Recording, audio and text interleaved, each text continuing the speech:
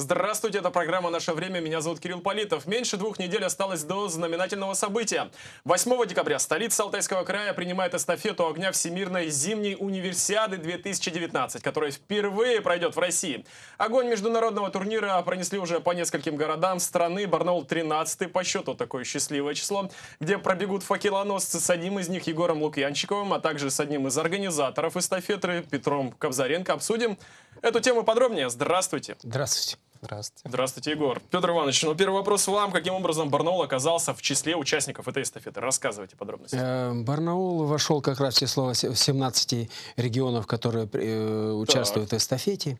Э, мы проводили, у нас очень хороший опыт был проведение эстафеты Олимпийского огня, ну, и помню, очень высокая помню, оценка оргкомитета помню. была дана. Действительно, самая длинная эстафета была и самая массовая эстафета, поэтому оргкомитету и всему миру сообществу, потому что транслировалось, как и сейчас, универсиада э, на весь мир. То есть угу. понравились наши задумки, наша эстафета, наши люди, и поэтому доверили еще раз провести вот такое событие. И учитывая, что оно является, как вот на форуме «Россия спортивная держава», президент Российской Федерации сказал, что самое основное событие у нас 19 год – это Универсиада. Универсиада в Красноярске. Насколько почетно принимать эстафету-то у себя? Ну, если учитывая, что всего 17 столиц принимает, представляете, из 85 mm-hmm. регионов, поэтому я думаю, что это очень э, почетно, но мы и готовимся к этому, чтобы показать очередной раз, что такое Алтай. Покажем, покажем. Покажем. Подробности маршрута интересно, вот рассказывайте, да, откуда, маршрут, куда и мар... сколько участников? Да, маршрут у нас э, Начинается там, где место, где мы встречаем огонь. Это набережная, новое замечательное место. Mm-hmm. Наш э, мост э, знаменитый, вот большой, да. И вот э, с, с этого места начнется, начнет э, путь первый факелоносец и законч, закончится эстафета у нас. Пройдется по Ленинскому и закончится она у нас на нашей площадке на площади и, и, имени Сахарова. У нас 25 факелоносцев mm-hmm. будут принимать участие в эстафете. 20 факелоносцев, которые которые были отобраны по конкурсу, это наши э, жители Алтайского края, и пять э, факелоносцев это от дирекции э, универсиады. И пройдет она по самым, э, думаем, таким хорошим нашим э, местам. Э, во-первых, вся историческая часть практически города Барнаула. Ну и мы начинаем с того места, где вот эти большие буквы Барнаул, где вот эта большая площадка, чтобы показать всему миру, что вот мы Барнаул, мы начинаем, мы принимаем в Барнауле. То есть прямо вот... Как под, говорится, под этим... Барнаул столица да, мира, стали... да? Ну, э, по, Наш Голливуд. Ну, по концепции, по концепции акции. Эстафета проводится для того, чтобы познакомить жителей с этим грандиозным мировым событием. И по концепции, вот в этот день, как бы если у нас огонь, то мы являемся на один день столицей универсиады. Поэтому вот этот день вот будет настолько эмоционально, э, надеемся, что хорошо пройдет, что запомнится надолго и жителям, и, может быть, и стране. Угу. Егор, ну вопрос следующий тебе. Ты в числе 25 участников. Как прошел отбор? Рассказывай, как попал-то. Ну, поскольку я тесно взаимодействую с э, зимней универсиадой, я поеду туда волонтером, так. я слежу за всей актуальной информацией, которая публикуется на официальном сайте, в так. официальных группах. И в апреле месяце, 2 апреля, если не изменяет память, появилось такое сообщение о том, что объявляется набор факелоносцев. Он был абсолютно открыт, он проводился через площадку «Молодежь России», где каждый желающий мог подать заявку, написать эссе на тему «Я факелоносец зимней универсиады», без ошибок написал? Без ошибок, но хочу сказать, что он, он молодец, очень креативный, хорошо написал, почему ее выбрали. И здесь вот э, есть несколько отличий от эстафеты Олимпийского огня. Здесь действительно они могли сами э, подать э, заявку на себя. И наша комиссия сначала э, посмотрела с запасными, потом отправила в дирекцию, дирекция подтвердила и утвердила тот список, который вот сейчас... Ну, Егор, ну поделись эмоциями-то, когда ты увидел свою фамилию в числе тех участников все-таки, 25. Честно, это было шоковое состояние, потому что я заходил на сайт дирекции универсиады, они сделали отдельный сайт, на котором вывесили списки, волнение, эмоции, переживания, конечно, это все присутствовало, но когда уже начали вот эти все организационные моменты, приходить подтверждение с площадки о том, что вы вошли в число лучших волонтеров, о, в, в число лучших, скажем так, уже факелоносцев. Факелоносцев да. тут уже. Я уже и волонтер, и факелоносец да, да, да, все вместе. Все да. а, что можно сказать еще? Очень приятно, потому что вот эти тезы, которые я пробегу, эти 100-200 метров, они запомнятся на всю жизнь, потому что ты являешься тем человеком, который стал лучшим за свои достижения в родном регионе. Ну, молодец, молодец, молодец. Уже известно, какой отрезок, э, Егор? А, в принципе, известно. Он может завтра прийти и посмотреть. Потренироваться. Потренироваться. Но мы их, по Ленинскому. Мы, мы их соберем, они пройдут пешочком, посмотрят, где они, где факелносов встречаются, где э, церемония идет целование огня, где один факелнос передает огонь другому факелносу.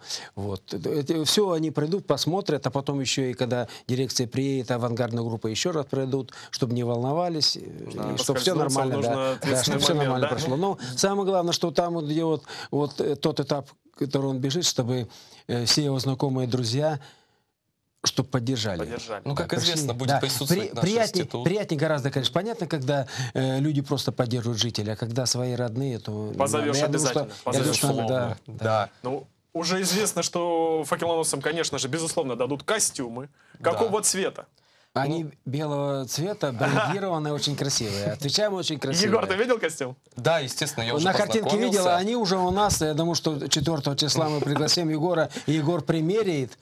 Я, к сожалению, буду в этот момент в Москве. Я знаком так. с регламентом. Это да. будут три официальных цвета. Белый, а, светло-голубой цвет фукси, официальные цвета зимней угу. универсиады. И, конечно, будет значок о том, что это эстафета огня. Это определенные будут знаки у нас идентификационные. Конечно же, это будут перчатки, шарф, варежка. Шапочка. А, да, шапочка, да. И, конечно же, будет э, накидка и утепленные штаны. А на саму универсиаду вот в Красноярск поедешь? Конечно, я поеду волонтером. Мне уже пришло подтверждение о том, что я буду в составе скажем так, представители Алтайского края, как угу. волонтер. Всего 26 человек едет с Алтайского края. У нас функционирует опять штаб. лучший, опять молодец. Да, у нас функционирует штаб зимней универсиады в Алтайском крае, где ребята могли проявить себя, пройти собеседование и уже отправиться на зимнюю универсиаду. Все открыто, все прозрачно. Угу. Петр Иванович, знаю, что каждый город разрабатывал свою какую-то определенную концепцию, свою программу. Чем Барнаул будет отличаться? Вот принципиально. Но Барнаул, что по смотрим? Почему нас выбрали? Потому что у нас очень хорошая концепция была э, эстафеты это, Олимпийского это огня, да, и где мы презентовали жемчужину нашего таленточный бор. В этом году мы презентуем э, город Барнаул как столица мира. И, и у нас, и у нас э, очень интересная концепция и сценарий. И у нас он завязан от начала, от, от, от встречи огня до зажжения чаши.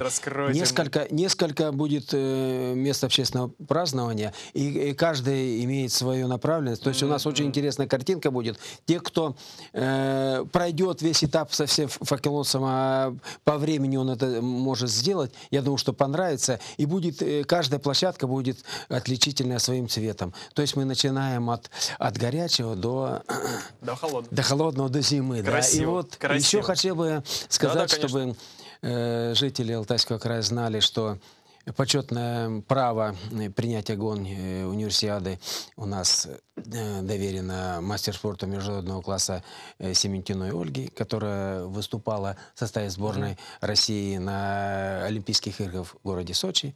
А зажигая чашу огня, последний этап, вместе с, полагаем, что с руководителем региона, с губернатором mm-hmm. Алтайского края, Э, Тарасов Сергей Петрович, олимпийский чемпион. Ну, безусловно. Егор, ну вот сейчас 8 число-то приближается, как мандраж. Есть, чувствуется? На самом деле нет, потому что еще до 8 числа огромное число мероприятий. Сейчас закрытие года добровольца с 1 по 6 я в Москве буду. 7 закрытие года добровольца в Алтайском крае, а потом уже эстафета огня У тебя насыщенный, я смотрю, график да. гастролей прям. Но действительно, вот не боишься ли подскользнуться? Ну вот я общался с теми факелоносцами, э, некоторые, правда, боялись как бы там упасть, уронить, что-то тренировались, держали а, гантелю, например, на вытянутой руке. Ну действительно, ну, такое да, было. каждый готовился по-своему. Как но... готовишься? Ну, известно, известен вес факела. Это 1,9 килограмм. Это уже так. опубликовано на официальном сайте. Конечно, подержать гантель в руках, как-то зафиксировать, с какого угла будет да, удобно да, его да, держать, да, да. потому что он все равно вытянутый. Это символизирует ветер, и, насколько мне память не изменяет этот факел. Э, всю красоту в целом Сибири он будет символизировать. И держать его это очень достойно. Ну а по поводу того, что подскользнуться, ну это уже на совести коммунальщиков будет. Спасибо. Спасибо вам большое. Спасибо. Спасибо. Зажжем. Зажжем. Зажжем. 8 декабря эстафета в Барнауле. Я напоминаю, это была программа «Наше время». До новых встреч. Берегите себя.